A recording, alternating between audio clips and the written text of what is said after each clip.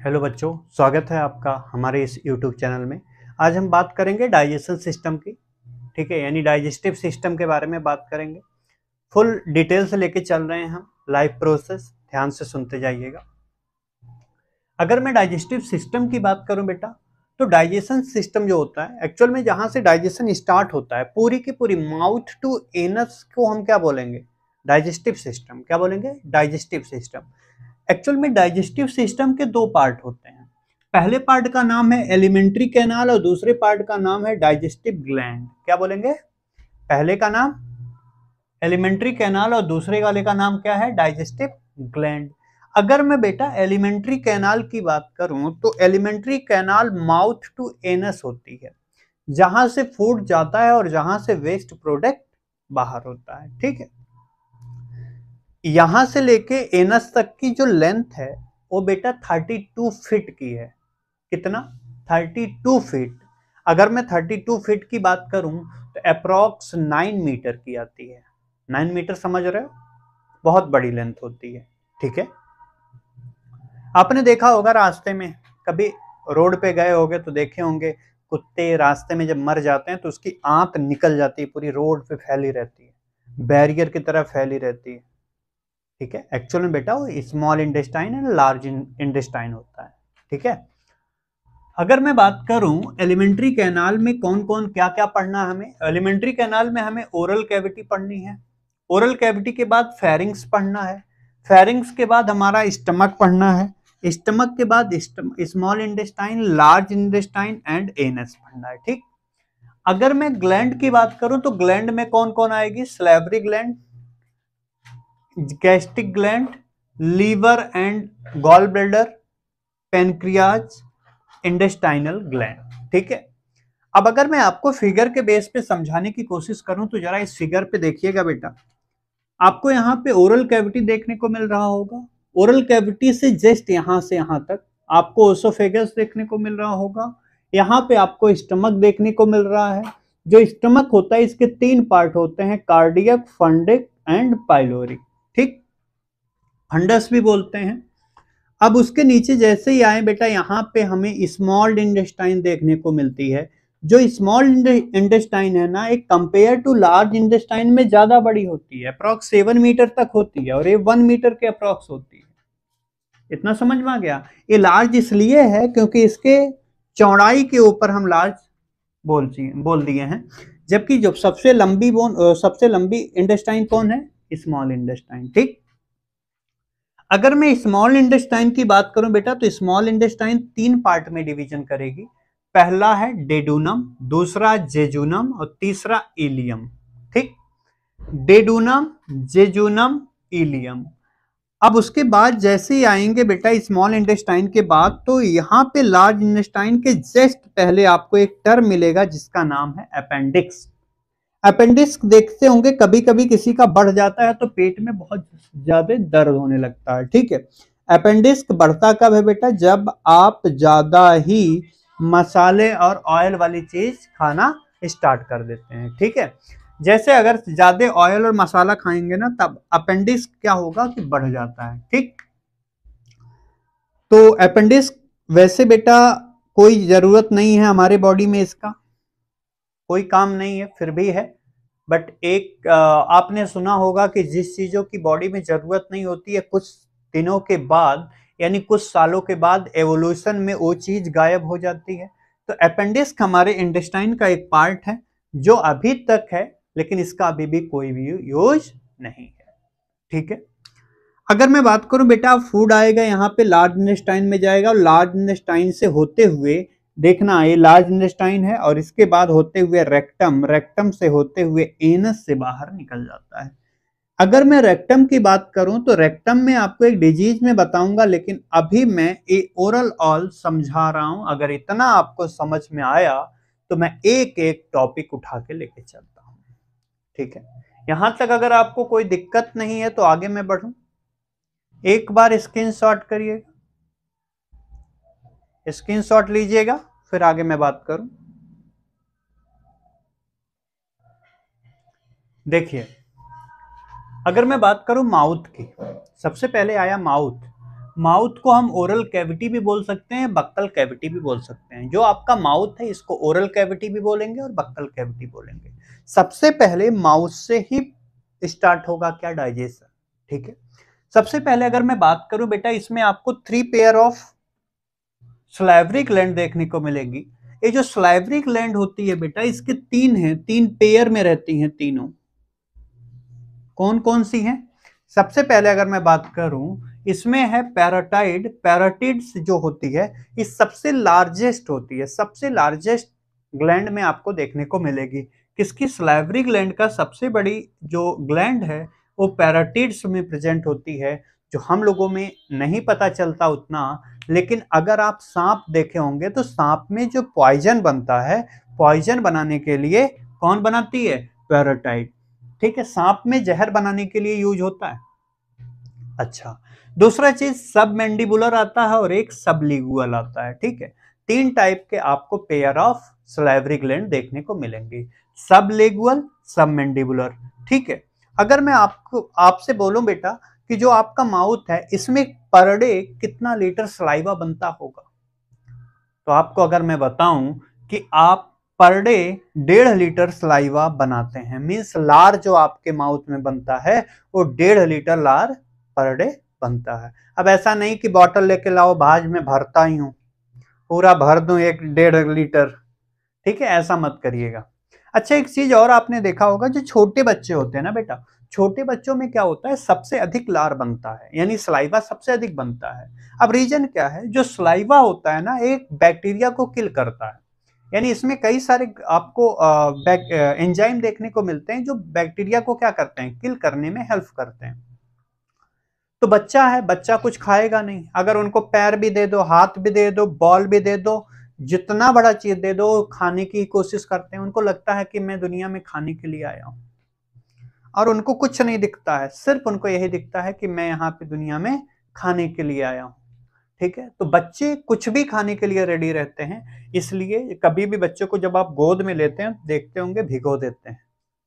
ठीक है? वो लार इसलिए बनता है क्योंकि उसके अंदर एंजाइम ज़्यादा हो और ताकि बच्चे बीमार ना हो। आगे समझ में? ठीक है। दूसरी चीज़ में बात करूँ बेटा, कुछ एंजाइम देखने को मिलेंगे। एक एंजाइम का नाम है लाइसोजाइम दूसरे का नाम है टाइलिन और तीसरे का नाम डिस्टेज चौथे का नाम म्यूकस ठीक है? आपको चार टाइप के एंजाइम देखने को मिलेंगे। जरा एक बार देखिएगा बेटा। अच्छा अब जो लाइसोजाइम होता है ना एक जीवाणुनाशी होता है। मींस अगर बैक्टीरिया आपके माउथ में आ गया तो उसको किल करने में हेल्प करेगा। मतलब किल द बैक्टीरिया ठीक है? कौन? लाइसोजाइम एंजाइम कहाँ प्रेजेंट होता है? आपके माउथ में प्रेजेंट होता है। दूसरी चीज़ मैं टाइलिन की बात करूँ तो टाइलिन जो होता है और डिस्टेज ये दोनों एक ऐसे एंजाइम है, जो बेटा आपके माउथ में सबसे पहले डाइजेशन स्टार्ट किया किस चीज़ का? स्टार्च का। स्टार्च का मतलब क्या है? जैसे आपने कभी आप खाए होगे यार, रोटी जब आप खाते हैं तो देखते होंगे रोटी को बनाने के लिए क्या किया जाता है? पहले आटे को चाल लिया जाता है। जो चला हुआ पार्ट है, जो आपको गाय आप, जो आप गाय को दे देते हैं, उसका नाम होता है मंड यानी चोकर। उसमें होता है स्टार्च। हम क्या करते हैं भाई उसको? गाय को दे देते हैं और जो बचा हुआ पार्ट है, वो मैदा है। मैदे को आप इतनी जल्दी डाइजेस्ट नहीं कर सकते। ठीक है? आपको मैं दो तीन रोटी दे दूँ मैदे का तो आप नहीं खा सकते। लेकिन अगर आपको चार पाँच रोटी बिना चोकर हटाए दे दो ना, तब भी आप खा लेंगे, क्योंकि वो मीठा होगा और उसके अंदर स्टार्च होता है और स्टार्च का डाइजेशन हमारे माउथ से टॉयलिन और डाइस्टेज एंजाइम करते हैं। इतना समझ में आ गया? अब फ़ूड आगे जाएगा बेटा तो म्यूकस आएगा। म्यूकस क्या करता है?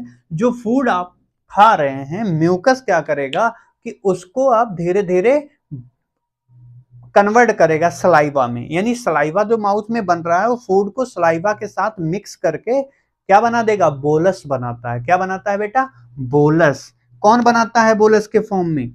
कौन? म्यूकस जो होता है, फ़ूड को चिपचिपा बना देता है। क्या बनाता है? चिपचिपा बनाता है। याद रखिएगा, अगर आपसे म्यूकस का म्यूकस के बारे में पूछा जाए तो म्यूकस फ़ूड को चिपचिपा बनाने में हेल्प करेगा। इतना समझ में आया आपको माउथ के बारे में? माउथ से तीन टाइप के एंजाइम निकलते हैं। पहले का नाम है पैराटाइट, दूसरे सब मेंडिबुलर तीसरा सबलिगुअल। उसके बाद चार टाइप के आपको क्या मिलेंगे? एंजाइम, लाइसोजाइम, टॉयलिन, डिस्टेज और म्यूकस। ओके? इतना करो। आगे बताता हूँ। जल्दी बेटा स्क्रीनशॉट लो।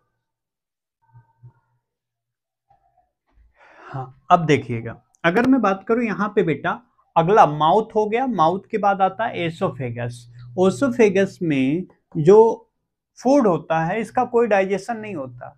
यानी ओसोफेगस बॉडी का, यानी डाइजेशन सिस्टम का एक ऐसा पार्ट है, जहाँ पे डाइजेशन नहीं होता है। ठीक है? इसका काम होता है, यहाँ पे आपको दिखाया गया कि नो डाइजेशन, यहाँ पे कोई डाइजेशन नहीं होता, लेकिन यहाँ पे पेरिस्टेलेसिस एक प्रोसेस होती है। पेरिस्टेलेसिस का मतलब है कि किसी चीज़ को धक्का मार के पहुंचाना। जैसे खाना खा रहे हो, खाना को क्या होगा? जो फ़ूड है, वो जब यहाँ से माउथ से नीचे जाता है ना तो ऐसा थोड़ी है कि गिर जा रहा है डायरेक्ट ऊपर से गिरा भाई नीचे एसिड में। ऐसा नहीं गिरता है। ठीक है? वो क्या होता है कि जैसे फ़ूड आपने लिया, वो धीरे धीरे धीरे धीरे क्रमानुकुंचन की तरह से, यानी पेरिस्टलेसिस का मतलब होता है कि फ़ूड को धक्का मार के पहुंचाना। आया समझ में? तो जो फ़ूड होता है पेरिस्टलेसिस किस प्रोसेस में देखने, कहाँ पे देखने को मिलती है? ओसोफेगस में, यानी फ़ूड डायरेक्ट नहीं जाता है, नहीं भाई गिरा मेरा खाना फट से। ऐसा नहीं होता ना? ठीक? अच्छा अगर मैं ओसोफेगस की बात करूँ बेटा ओसोफेगस की जो लेंथ होती है, दो दशमलव दो सेंटीमीटर यानी 2.2 सेंटीमीटर की होती है। कितना? 2.2 सेंटीमीटर की होती है। अगर मैं बात करूँ जो आपके फ़ूड था, जो आपने खाना खाया था, वो फ़ूड फॉर्म में था, जब बेटा गया माउस से नीचे, अब जैसे ही माउस से नीचे जाएगा, वो बोलस फॉर्म में कन्वर्ट हो जाएगा। ये पॉइंट याद रखिएगा। कौन सा फॉर्म बोलस फॉर्म में। जैसे आपने खाना खाया, अब जो माउस में फ़ूड था, वो सलाइवा के थ्रू मिक्स हुआ। सलाइवा मिक्स होने के बाद जैसे ही वो नीचे जाए, अब उसका नाम हो गया बोलस यानी फ़ूड को बोलस में कन्वर्ट करता है। आ गया समझ में? अगर मैं बात करूँ बेटा ओसोफेगस की तो ओसोफेगस में बस इतना ही चीज़ आपको पढ़ना है। उसके बाद आता है स्टमक अब स्टमक के बारे में थोड़ा समझते हैं। स्टमक जो होता है ना स्टमक के आपको मेन थ्री पार्ट्स पढ़ने को मिलेगा। एक कार्डियक फंडिक और पाइलोरिक एक बॉडी भी होती है बेटा। बॉडी बड़ा पार्ट है। आपको इन तीन के बारे में डिटेल से पढ़ना है। कार्डियक, फंडिक एंड पाइलोरिक ठीक है, अगर आपको इतना समझ में आ गया हो तो मैं आगे बढ़ू। जल्दी बेटा, जल्दी जल्दी।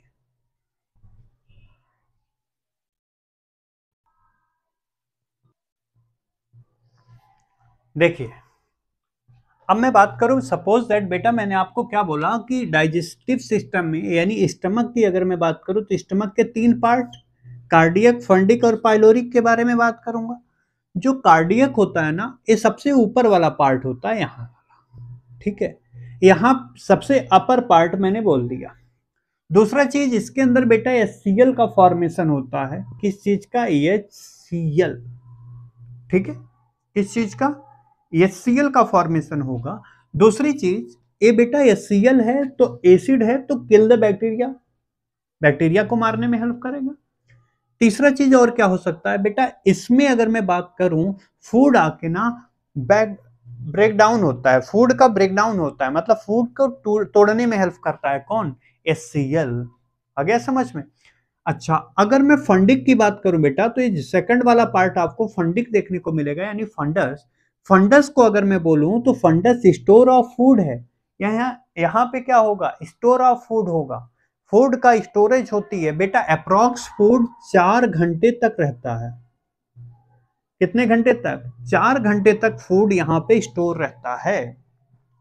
अगर मैं आपसे बोलूँ कि बेटा, यहाँ पे चार घंटे का तक तो फ़ूड स्टोर रहता है, लेकिन जब आपको भूख लगती है तो यही फंडक, फंडिस, फंडिक में बेटा आपको एक कांटे नुमा संरचना देखने को मिलती है। इसको हम रूसी बोलते हैं। क्या बोलेंगे? रूसी। ठीक है, रूसी क्या हो बेटा? एक्चुअल में जब आपको भूख लगती है तो ये चुभन से महसूस कराता है। ये आपके पेट में चुभन महसूस कराता है, रूसी नाम की एक पार्ट होता है, जो कहाँ पे होगा? फंडिक में। इतना समझ में आ गया? इसके बाद अगर मैं बात करूँ पाइलोरिक की तो जो पाइलोरिक होता है बेटा पाइलोरिक में हम देखने को मिलती हमें गैस्ट्रिक जूस। क्या देखने को मिलती है, सर? Gastric juice. अब गैस्ट्रिक जूस दो टाइप के होते हैं, एक पेप्सिन है और एक रेनिन है। कौन कौन? रेनिन एंड पेप्सिन जो बेटा रेनिन है, ये आपको मिल्क से कर्ड में कन्वर्ट होते देखेगा। यानी मिल्क से कर्ड में अगर कोई चीज़ कन्वर्ट हो रही है तो कौन करा रहा है? रेनिन करा रही है। लेकिन अगर मैं आपसे बोलूँ, सर, जो आपने प्रोटीन खाया है प्रोटीन से पेप्टोन में जो कन्वर्ट होता है, किस चीज़ में? प्रोटीन से किसमें पेप्टोन में कन्वर्ट होने के लिए कौन सा एंजाइम काम कर रहा है बेटा? पेप्सिन एंजाइम काम करेगा। इतना समझ में आ गया? याद रखिएगा, पेप्सिन से, पेप्सिन ने प्रोटीन को पेप्टोन में कन्वर्ट किया। पेप्सिन बेटा, प्रोटीन को पेप्टोन में कन्वर्ट करता है। ये आपको डाइजेशन सिस्टम के स्टमक पार्ट में देखने को मिल देगा और स्टमक के पाइलोरिक में। आपने देखा होगा, मैंने बताया बेटा, जो आपने खाना खाया वो फ़ूड था। जैसे ही माउस से नीचे आया, अब बक, बोलस फॉर्म में आ गया। अब जो बोलस था, जैसे ही बेटा पाइलोरिक के अंदर गया, अब वो काइम बना। जैसे मान लो कभी ना, खाना खाए खाना खाए पड़े हो, और खाना क्या हुआ निकलने नहीं निकले से पहले ही निकाल लिए वो कैसा रहेगा? बोलस फॉर्म में। लेकिन जब आपको ओमेटिंग होती है, क्या होती है? ओमेटिंग हो गई, खाना खा के, उसके बाद वो किस फॉर्म में है? काइम फॉर्म में प्रेजेंट है। किस फॉर्म?